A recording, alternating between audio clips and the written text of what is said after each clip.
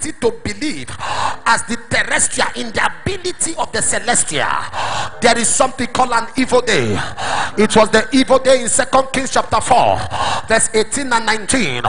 The Bible says it fell on a day as they were with the reapers the young man shouted my head my head my head my head and he passed out am i talking to somebody here my head my head and he passed out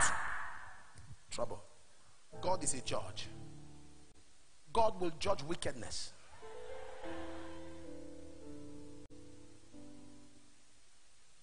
someone was preaching in delta state in a place called Warri and by prophecy, he was a guest speaker. By prophecy, he asked a question. He said, Who is Florence? A lot of Florence were coming out. There was a particular girl. I mean, I'm not mocking her. This is just I'm just trying to be explicit and graphic. She was coming out like this. She was an imbecile. She was walking out. So the host pastor, who was the pastor of the church, did not want the guest speaker to see somebody like that. So he went to block her. He said, Turn back, turn back, turn back. You are not the one. He said, But my name is Florence. He said, Not you, not your type. Turn back, turn back, turn back. As she turned back, the man who was in the prophetic said, This Florence I'm seeing is an imbecile. And the girl was going. She said, eh? Uh, it's me now. It's me. Everybody were, were confused. They were waiting to hear the prophecy. And the man of God gave another shocker. He said, Thus said the Lord. Florence, your wedding shall be the talk of the town. When he said that, people started laughing. Word like this, they kept quiet. A young man in Germany was praying for a future partner. His mother was on him. And the Lord told him, Go back home and get married. He's from Port Harcourt, from River State. Go back and get married. He came back in a fast. The Lord said, Go to Warri, your wife is there. He checked into a hotel and was just waiting on the Lord, asking for the next direction. As he stood up at the balcony view, he saw two ladies passing.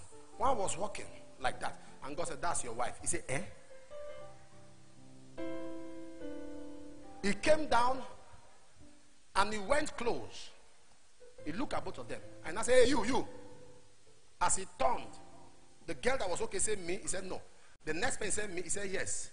The one that was walking like that. He said yes. Come. And the girl said rubbish. The young man said, Hey, look at this one. Oh. So you, you think you can just call somebody anyhow like that? You just call. The guy was totally embarrassed. He was irritated. Normal people are responding to call. You like this. You are rejecting. He tried, traced her to their house.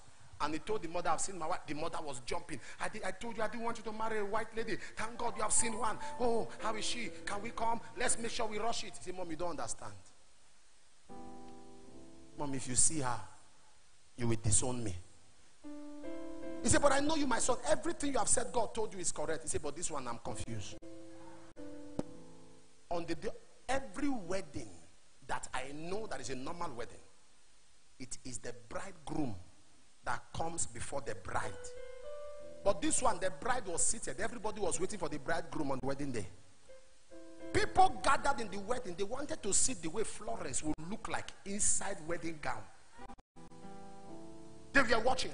They waited. After a while, the young man was coming. Like somebody they put a gun on his head to marry.